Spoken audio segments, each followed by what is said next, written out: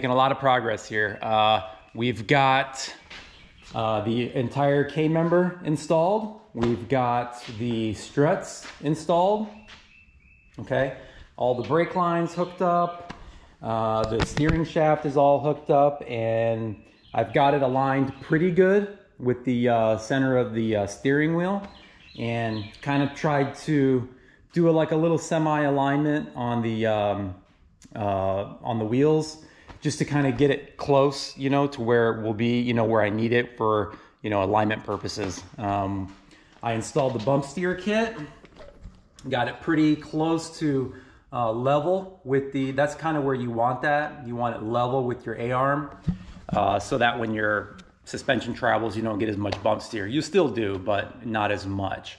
So you kind of, you don't want that, you know, when the wheels come up, you don't want your wheels pointing outwards You've probably seen that on the um, you know pictures or videos or whatever. But anyway, uh, yeah, I got uh, like I said, got all the brake lines hooked up. Everything's good to go. Um, caster camber plates are in, and uh, yeah. So in this video, I just kind of wanted to show you guys how to install the travel limiter kit from Team Z. Okay, the travel limiter kit is this here. It's like, it's pretty good price. It's only like 60 bucks or something like that. Uh, and you get pretty much everything you need. Um, these uh, flanges here, they're, you know, look like they're cut on a plasma cutter or whatever. Um, you get the uh, tabs for welding onto the uh, chassis. Okay, so pretty much, if, if y'all aren't familiar with, with what travel limiters do, I'll kind of explain it, but most people know. Uh, so it's basically you can uh, limit the travel of your front suspension. Okay, so if you're having problems with the car transferring too much weight um, or you know rising too much, and then you start having wheelie problems, um, you can tie the front end down a little bit, um, and you can do it in, on, on this kit. It's uh, it's a nice kit. You can do it in increments. Um, well, you can see the increments there. You can do it in and also you can, there's three different holes on this plate. So, you know, you could move it, say you say you're here, you could move it to here, that'll give you like an eighth of an inch of adjustment. Then you can move it to here, that'll give you like another eighth of an inch of adjustment. And then you can switch holes and go to that hole, another eighth inch. So you can kind of see how they designed it. You can get very small amounts of uh, adjustment out of it. And then, um, you know, it's just a, basically a chain uh, pins that you, you use to uh, adjust it. So basically what you want to do is you have your suspension here like this at full, um, it's pretty much at full extension, okay, just sitting like this. So in that case, you'd want to mount your, your tabs, okay, mounts right here to the frame rail. And on, if you don't have Team Z A arms that have the uh, sway bar mount, which I do, um, you're gonna have to weld something onto your A arms. You know, if you got like a Q, QA1 K member or something without uh, without that, you'd have to weld something on there. But in, in this case, I'm just gonna use the hole that the uh, sway bar would use. So it comes with this bolt, you know, that goes, that you would put into a tab or whatever. You know, like if you welded a tab here, you would just bolt it to that. But in this case, I'm gonna use this bolt here. So it's gonna go in there and you pretty much, trying to do this with one hand here. You pretty much weld it right to the frame rail, right there. and you wanna put it right, basically in line with, um, you want to keep it in line with this hole here, okay? So you're going to kind of be in line with the K member in this spot. So I'm going to be pretty close to this brake line, but I think I can kind of get around it to uh, weld, and it should clear, you know, that pin. So you can kind of see there's there's quite a bit of space there.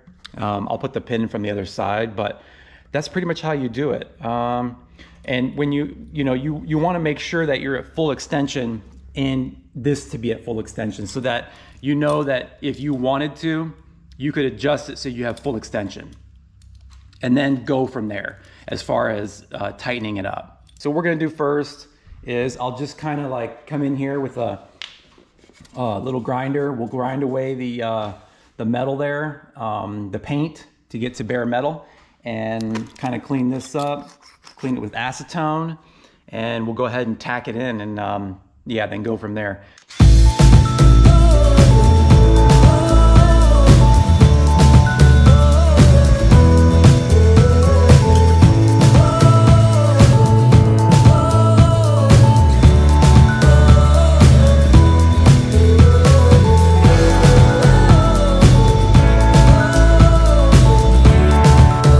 Okay, one thing I forgot to mention, uh, which is a good idea, is to actually compress your suspension like about an eighth of an inch, okay?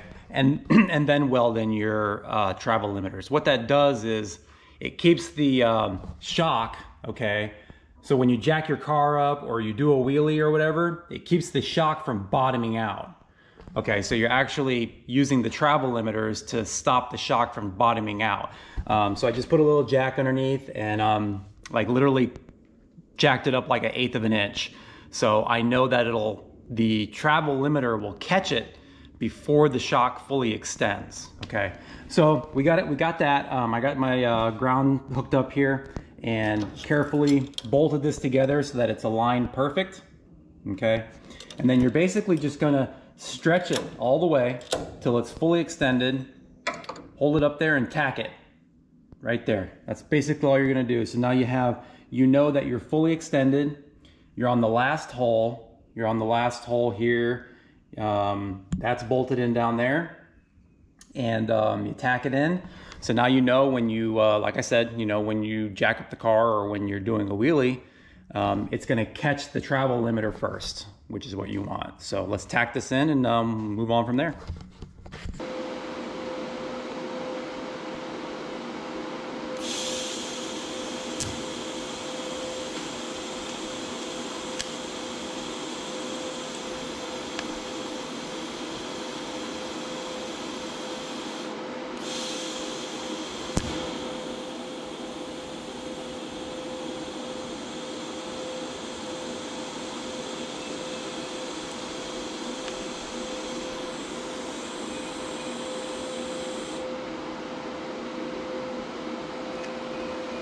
Uh, that stuff was pretty thick. Uh, it took took quite a while for it to uh, to melt the uh, metal there. So I'm gonna have to turn it up a little bit and um, tack the rest in. But yeah, that's that's pretty thick. I have it at 80 amps, so I think I'll have to move it up to like 90.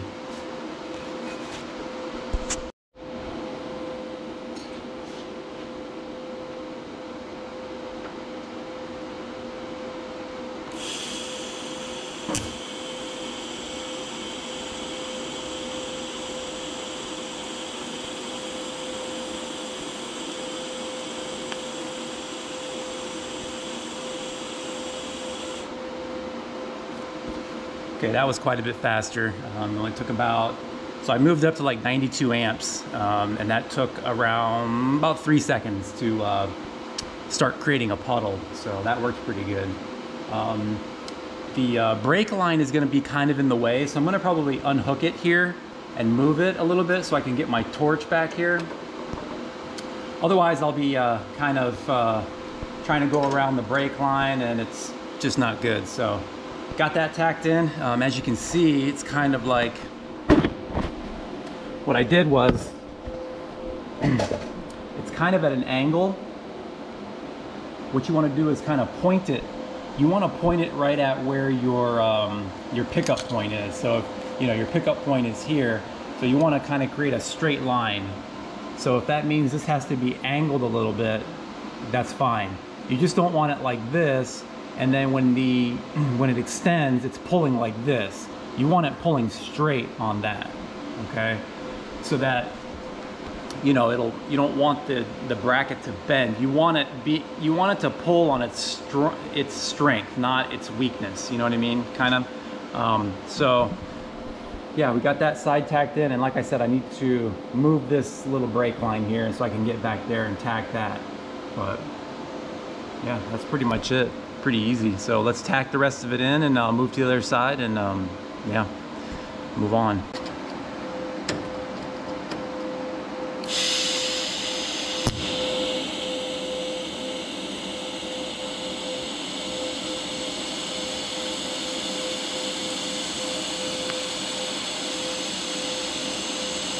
Okay, so we got it welded in. Um, I just kind of put a bead here and a bead here because uh, the frame rail actually has some like holes in it. Um, I don't know why, but there's a couple, there's a hole there and there's a hole there. Maybe there was something attached there before, I don't remember.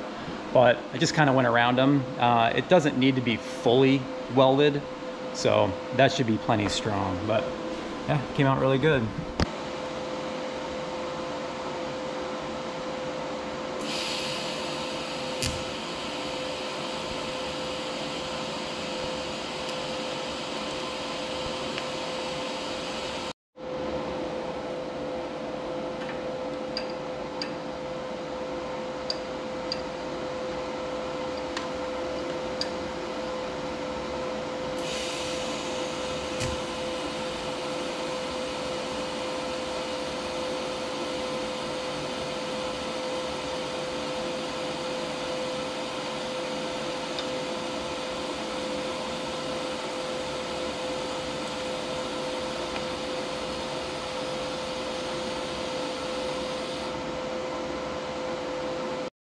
All right, guys, so we got both sides done here. Um, and you can see once I leave the, uh, take the tension off of the jack, um, this just should tighten up. Just like that, see? Tight. So now we know that we are on the chain and not the bottom of the shock. So anyway, um, I did okay with this. Uh, what you can tell here, okay, is you see how far this, this heat zone comes out here? Um, I, that means I got it too hot. Um, I, it was really kind of tough because the frame rail is really thick and I, it, I just had to heat it up for so long in order to get it to uh, start to flow nice. And, uh, but not that big of a deal because it's just tabs for, um, you know, for this bracket here. So, you know, it's not like it's going to distort or anything, but, um, you know, if you're welding something and you're getting that much heat zone, like that's like an inch maybe a little more than an inch away from your weld of the, uh, I guess they call that like the affected heat zone, um, that's too much. But, you know, I'm learning every day with this welder and um, I've never professed to be a great welder, but I'm learning all the time. So, uh, yeah, what I probably should have done was cranked up the heat even more um, so that it went quicker. But I didn't, and I started going, and I'm like, okay, it's starting to flow, but you know, I know this is taking too long. And then when I was done, I looked at it and I'm like, wow, that, that put a lot of heat into it. But anyway, we got it done. And um, this side here is not as bad. You can see that the heat zone is a little bit tighter in. Um, that one looks like maybe about an inch, maybe a little less than an inch or right about an inch. But, uh, but yeah, so that's pretty much it, guys. Um, and you can see that this slides in and out like this, nice and easy. Um, since I put that spacer in there, it kept it from being too tight. So now at the track, we can easily make adjustments, you know, up and down. So yeah, that's pretty much it, guys. Pretty much it for this video. Just wanted to show you that and um, how much progress we're making. Uh, yeah, I mean, it's really coming along. Um, the only other thing I did yesterday was uh, went ahead and uh, mounted the shifter uh, kind of use this little uh, uh, brace here that goes across the transmission tunnel to uh, mount the shifter. I used to have the shifter mounted on like a box uh, in the other car to kind of raise it up a little bit. But since this seat is lower, I don't need to do that. I can go ahead and get rid of that box and just mount it right to the floor. And I actually put um, behind here, I added a uh, brace. Okay, so there's like a um, maybe an eighth or three sixteenths uh, bar that goes across there that I welded in, and um, so the shifter mount has two spots to mount to. It should be really really strong, and um, yeah, it, it's in a nice spot to where you know when you're driving, you can easily just reach over and boom, right there. The shifter is right there, so. In the other car, I kind of, the shifter was a little bit far back for me. I didn't really like it. So this, I moved forward. Okay, so, and um, we got the uh, shifter cable here that will probably run a hole through, I don't know, somewhere here, or maybe up in here, and then add a grommet. and then that shifter cable will wrap, wrap back around and then into the transmission here. So it kind of does a loop around the back of the transmission. So anyway, anyway, guys, just wanted to show you the update, show you progress, show you the travel limiter kit. Um, got the bump steer kit installed. Uh, if you're doing bump steer, you know, you can kind of guess on uh, where it's supposed to be. Um, it really isn't, there's, I don't know there's that much of a science to it. You just kind of get it uh, level with the A-arms. That's pretty much what you want. So if your A-arms are here, you want this to be at the same angle is kind of the idea. So anyway, that's gonna do it guys. Hope you enjoy these videos and thanks for following along and I'll uh, check y'all next time.